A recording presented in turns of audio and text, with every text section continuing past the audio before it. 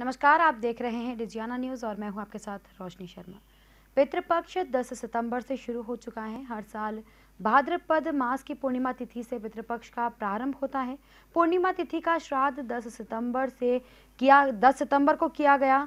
इन दिनों में क्या कुछ विशेष देखा जाता है? किस तरह से पूजा पाठ किया जाता है? किस तरह से पितृ शांति की जाती है? इसी पूरे विषय पर चर्चा के लिए इस वक्त हमारे साथ मौजूद है हमारे संवाददाता प्रवीण सावंत जी।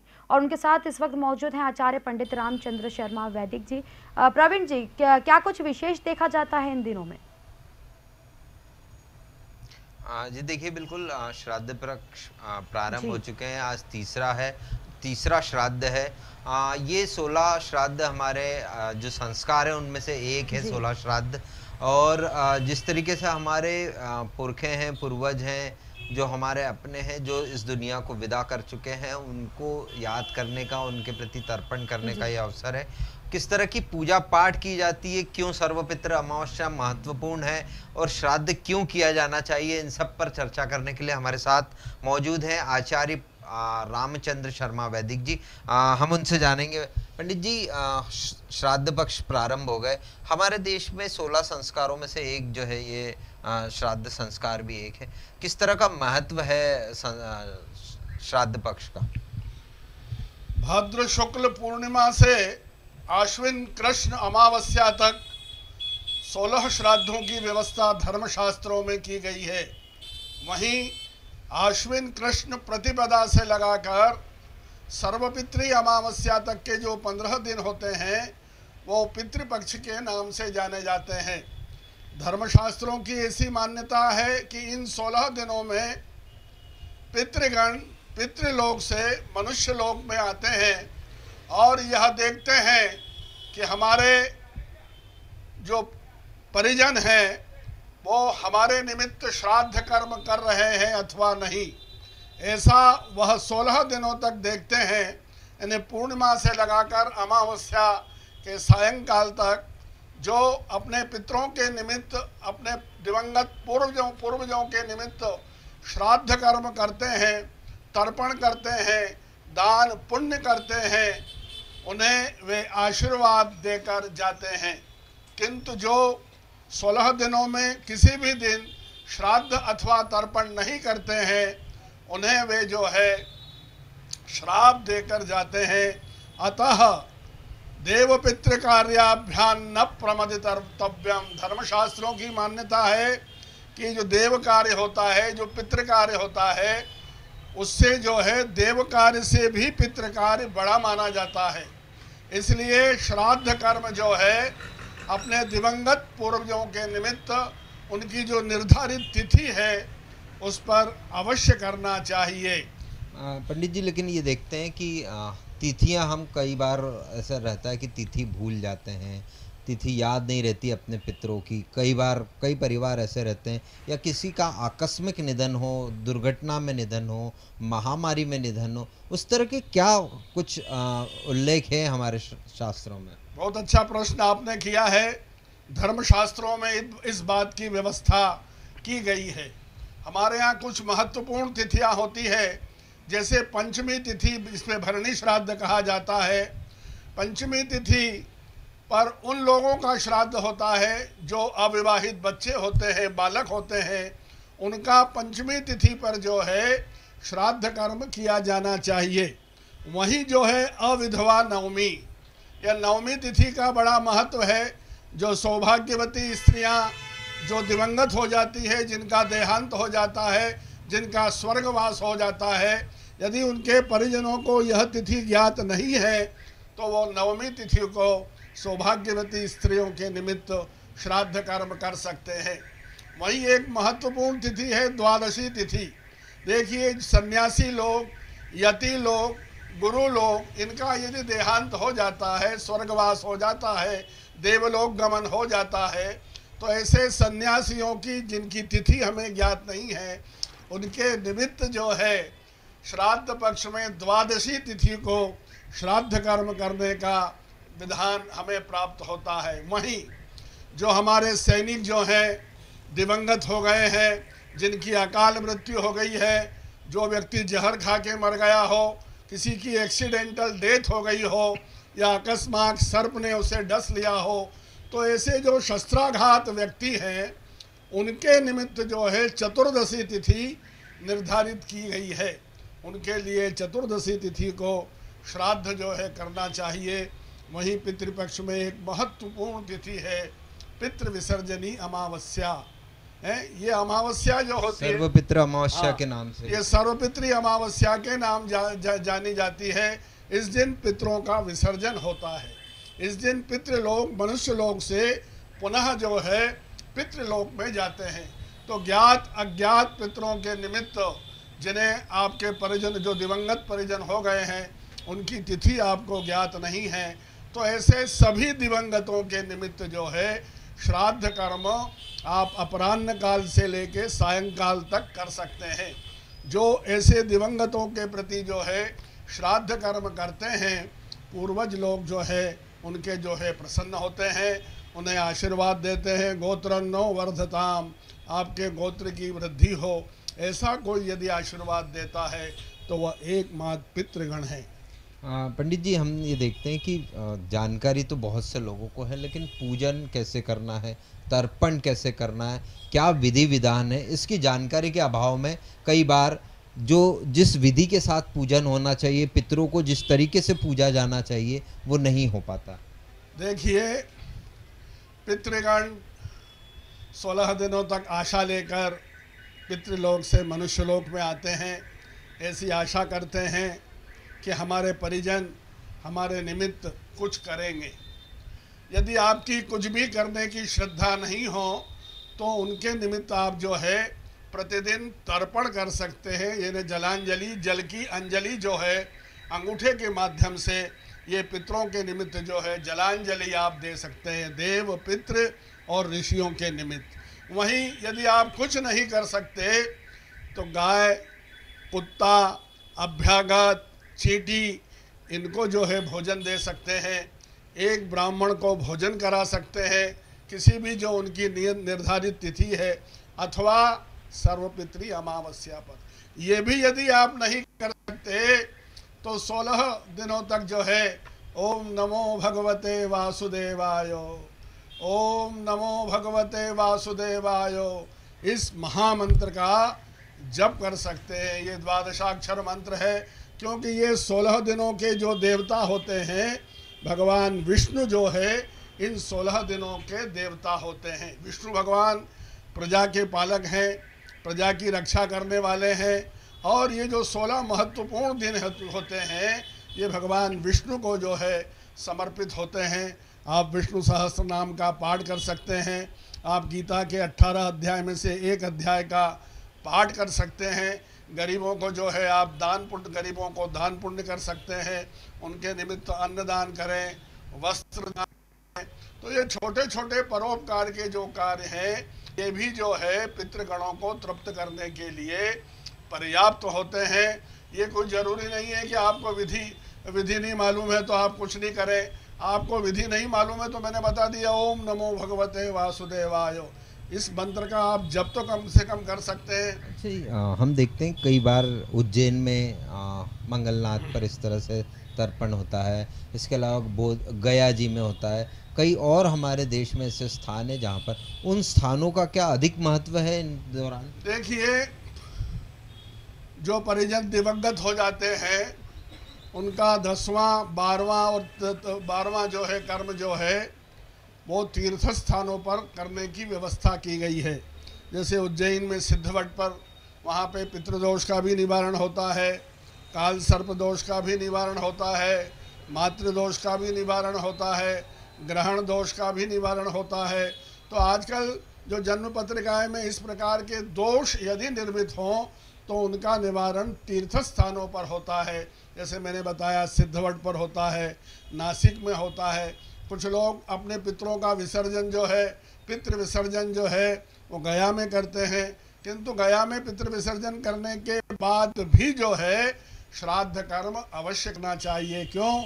कि यह नित्य नैमित्तिक कर्म है। गया श्राद्ध करने के बाद ब्रह्म कपाली के अंदर भी जो है, श्राद्ध करने का विधान धर्मशास्त्रों में प्राप्त होता है।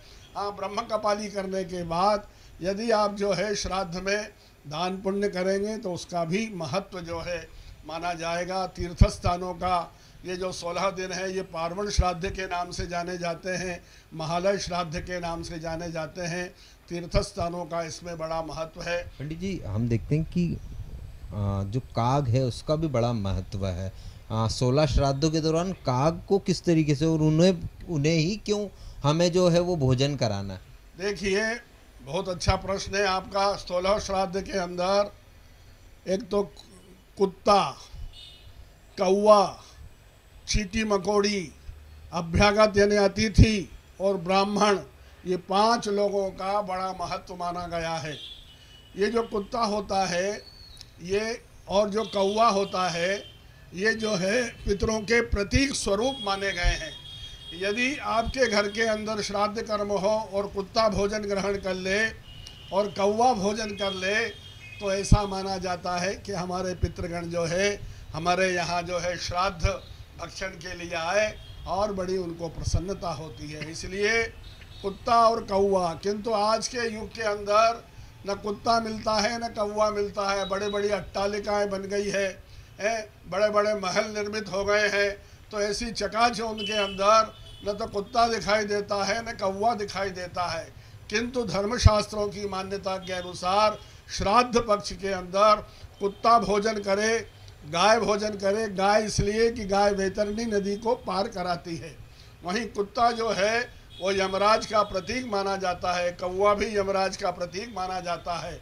तो इसलिए गाय, कुत्ता, है, कौवा, ब्राह्मण चिटी मकोड़ी और अभ्यागत ये पंच बलियाँ जो है श्राद्ध पक्ष में देने का विधान है। पाँच स्थानों पर जो है भोजन रखा जाता है। पहला गाय को दिया जाता है फिर कुत्ते को दिया जाता है है फिर चीटी मकोड़ी के निमित्त जो है कौवों को डाला जाता है। ये पंचबली जो है इसका बहुत महत्व है और ये पितृगणों को वायव्य गति से हवा की गति से जैसे हम घर में जो धूप देते हैं उसकी गति से जो है उन्हें जो है प्राप्त होता है। एक अभी विवाद विवाद या कहें या इसे कहते हैं हमने पहले सुना है हम भी इसका पालन करते आ रहे हैं कि श्राद्ध पक्ष के दौरान कोई खरीदी नहीं करना कोई शुभ कार्य नहीं करना ये नहीं। अब इसको लेकर एक नए बयान आने लग गए धर्म गुरुओं के कि इस दौरान खरीदी करने के लिए कहीं कोई शास्त्रों में रोक नहीं लिखी गई। आप क्या कहते हैं? देखिए मैंने आपसे कहा कि देव पितृ कार्याभ्यान न प्रमदितव्यम, ये वेदों का वाक्य है। पितृ कार्य देव कार्य से भी बढ़कर होता है। तो पितृपक्ष में जहाँ पितरों की कृपा प्राप्त होती है, वहीं देवताओं की भी कृपा प्राप्त होती है। यानी देवताओं के साथ पितृपक्ष में पितरों की कृपा प्राप्त होती है। इसलिए कहीं भी इस बात का निषेध नहीं किया गया है कि पितृपक्ष में खरीदी नहीं करना चाहिए। पितृपक्ष जो सोलह दिन होते हैं, अत्यंत शुभ दिन होते हैं, इसमें देवताओं के साथ पितरों की कृपा भी जो है सम्मिलित होती है। इसलिए इन सोलह दिनों में खरीदारी का कहीं कोई निषेध नहीं है। खरीदी करना चाहिए। जैसे अमावस्या तिथि है तो अमावस्या का तो दीपावली होती है, देखिए, महालक्ष्मी की पूजा होती है। जब हम अमावस्या के दिन महालक्ष्मी की पूजा करते हैं तो खरीदारी क्यों नहीं कर सकते अमावस्या के दिन? यदि हम अमावस्या के दिन खरीदारी कर सकते हैं तो पितृपक्ष के सोलह श्राद्ध के अंदर भी खरीदारी कर सकते हैं। उसमें देवताओं और पितरों की कृपा हमें प्राप्त होती है। पंडित जी, दान का बड़ा महत्व है सोलह श्राद्धों के दौरान। दान को एक कहा गया है हमारे धर्मशास्त्र में कि दान जो करता है, उसका उसे लाभ बड़ा होता है।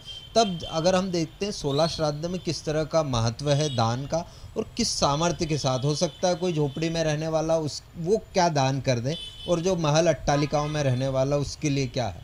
देखिए, पितृपक्ष में तर्पण, श्राद्ध, दान और पुण्य का विशेष महत्व है। दान, पुण्य, श्राद्ध, ये अपनी श्रद्धा के अनुसार किए जाते हैं। श्रद्धया क्रियते यत तत्श्राद्धम श्राद्ध का मतलब होता है, जो श्रद्धा से किया जाए, अंतरात्मा से जो किया जाए, वह श्राद्ध कर्म है। इसलिए अपनी जो हैसियत है, अपनी जो अपना, अपने जो, अपनी हैसियत के अनुसार आप दान पुण्य कर सकते हैं, कोई वस्त्र जो है, गरीब को दे सकते हैं, छाता किसी को दे सकते हैं, कोई बहुत ज़्यादा गरीब है तो आप पुराने जूतों का दान कर सकते हैं कुछ नहीं तो गाय को चारा खिला सकते हैं हैं? कोई जो कोई अभी अतिथि है, अभ्यागत है, उसको भोजन खिला सकते हैं। ये छोटी छोटी चीज़ों के माध्यम से जो है, पितृगणों की तृप्ति होती है। इसलिए श्राद्ध के दिनों में दान और पुण्य का भी महत्व है। पंडित जी आधुनिकता का दौर है। सब जो है वो आधुनिकता की दौड़ में दौड़ते जा रहे हैं। ऐसे में क्या आप महसूस करते हैं कि ये श्राद्ध पक्ष तर्पण इन सब में कहीं कोई कमी है या आप और देखते हैं कि और वृद्धि हो गई है? देखिए दिनों दिन जो है धर्म का प्रचार प्रसार बढ़ता जा रहा है। ये कर्म भी जो है इसका महत्व आज इतना बढ़ गया है कि विदेशों में भी जो है श्राय सोलह श्राद्ध में तर्पण जो है ब्राह्मणों को उनके माध्यम से कराया जा रहा है। ऑनलाइन भी होता है। ऑनलाइन ये क्रियाएँ जो है संचालित होती है जगह जगह सामूहिक सामूहिक रूप से तर्पण कराया जैसे इंदौर में हमारे जो है हंसदास मठ पे हो रहा है वहीं जो है राजबाड़े पर जो हो रहा है अखंड धाम अखंड धाम में हो रहा है तमाम स्थानों पर विद्याधाम में भी जो है सामूहिक तर्पण कर्म जो है कराया जा रहा है। तो इस विधि के प्रति है लोगों में जो है रुझान बढ़ा है। आजकल जो चकाचौंध का युग है, भागम भाग का युग है, उस भाग में भी लोग जो है प्रकृति से डर रहे हैं, आपदाओं से डर रहे हैं। अभी हमने देखी दो वर्षों में आपदाओं का जो है क्रूर है, उसका रहस्य हमने जो देखा। तो इन चीज़ों से लोगों में भय व्याप्त है और इस भय के कारण भी जो लोग हैं, इस श्राद्ध पक्ष के अंदर अपने पूर्वजों को याद कर रहे हैं। निश्चित ही ये बहुत अच्छा संकेत है मंदिर, मंदिरों के अंदर भीड़ लग रही है। आज देखिए आप शिव मंदिरों में कितनी भीड़ महिलाएँ सुबह से जो है वहाँ लाइन लगा के जो है भगवान शिव की पूजा अर्चना कर रही है। श्राद्ध पक्ष में हज़ारों लोग जो है अपने पूर्वजों के निमित्त तर्पण कर रहे हैं, दान कर रहे हैं, पुण्य कर रहे हैं। गौशालाओं के अंदर जो है दान पुण्य करने वालों की भीड़ लगी है। तो इस प्रकार, इस कर्म के प्रति, धर्म के प्रति रुझान जो है लोगों में बढ़ा है। विशेषकर युवकों के अंदर भी जो है धर्म के प्रति हमारे जो है रुझान बढ़ा है। आज देखिए देव मंदिरों के अंदर हनुमान जी के मंदिर के अंदर आप मंगलवार और शनिवार को जाइए। कितनी भीड़ आपको मिल रही है। जय जय जय हनुमान गोसाई कृपा करहु गुरुदेव की नाई। नाद से जो है युवक लोग जो है भगवान हनुमान जी के सम्मुख जो है दीप प्रज्वलित कर जो है हनुमान चालीसा का गान कर रहे हैं। निश्चित रूप से यह देश और दुनिया के लिए अच्छा संकेत है। जी। तो बिल्कुल रोशनी जिस तरीके से आचार्य पंडित रामचंद्र शर्मा वैदिक जी ने पूरी तर्पण की विधि भी समझाई कि किस तरीके से तर्पण किया जाना चाहिए। यदि सामर्थ्य नहीं है तो वो सिर्फ़ जल का तर्पण करके भी अपने पितरों के लिए तर्पण की विधि पूरी कर सकता है। और जहाँ तक कहा गया है कि दान पुण्य का महत्व है तो जो छोटी से छोटी वस्तु भी दान की जाए तो वो हमारे पितरों तक लगेगी। और जहाँ तक ये बात आई थी कि श्राद्ध पक्ष के दौरान खरीदी करना वर्जित माना गया था लेकिन पंडित रामचंद्र शर्मा जी के अलावा कई और ऐसे धार्मिक गुरु हैं जो ये कहते हैं कि श्राद्ध पक्ष के दौरान खरीदी के लिए कहीं भी हमारे शास्त्रों में वर्जित नहीं कहा गया है कि नहीं खरीदी की जा सकती। उल्टा देव और पितृ दोनों का आशीर्वाद इस दौरान मिलता है। तो ये जिस तरीके की विधि विधान बताया गया है तो इन सोलह श्राद्धों में अपने तर्पण अपने पितरों को ज़रूर याद कीजिए। और जिस तरीके से आचार्य पंडित रामचंद्र शर्मा वैदिक कहते हैं कि इन दिनों भक्ति भाव बढ़ चुका है। हम जो देख रहे हैं पिछले दो वर्ष की जो महामारी उसने और धर्म को जोड़ा है। तो आने वाला समय में और इस तरह की गतिविधियाँ हम देख सकते हैं। इंदौर में सामूहिक तर्पण की व्यवस्था लगभग दस स्थानों पर होती होगी जो आने वाले समय में और बढ़ने की उम्मीद है। जी बिल्कुल जिस तरह से पंडित रामचंद्र शर्मा वैदिक ने हमें बताया कि किस तरह से पितरों को प्रसन्न किया जाना है कि क्या कुछ नियम रहते हैं पूरे दिन सोलह श्राद्ध जो रहते हैं उनमें किस तरह से पूजा अर्चना की जाती है। लेकिन इनके अलावा हम देखते हैं आए दिन किसी ना किसी व्यक्ति के मुँह से सुनते हैं कि पितृदोष किसी व्यक्ति के जीवन में लगा हुआ है। इसके क्या कुछ नुकसान रहते हैं और क्या कुछ कारण रहते हैं पितृदोष लगने के? जी बिल्कुल। रोशनी जानना चाहती पितृदोष अगर जिसे लग जाए उसे नुकसान किस तरह से और किस तरह से निवारण किया जा सकता देखिए जन्म पत्रिका के अंदर यदि पितृदोष हो मातृदोष हो ग्रहण दोष हो तो सोलह श्राद्ध में पितरों के निमित्त तर्पण करने का विशेष महत्व है। वहीं यदि आप इन सोलह दिनों में तर्पण नहीं कर सकते हैं तो पितरों के निमित्त नारायण और नागबली जलाशयों के किनारे, जैसे अभी आपने प्रश्न किया था, उज्जैन में सिद्धवट इस प्रकार का स्थान है स्थान है। वहीं जो है नासिक, त्र्यंबकेश्वर में भी ये पितृदोष निवारण की व्यवस्था की गई है।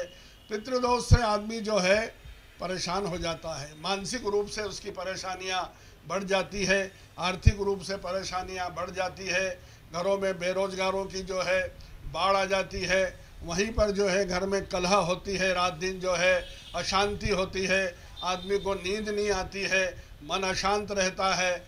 इस प्रकार के जो क्रियाकलाप होते हैं वह पितृदोष का मातृदोष का संकेत होता है। यदि ऐसी स्थिति घर में निर्मित हो तो निश्चित रूप से किसी योग्य ज्योतिषी को पत्रिका बताकर उसका निवारण जो है पितृदोष का इन तीर्थ स्थलों पर करना चाहिए।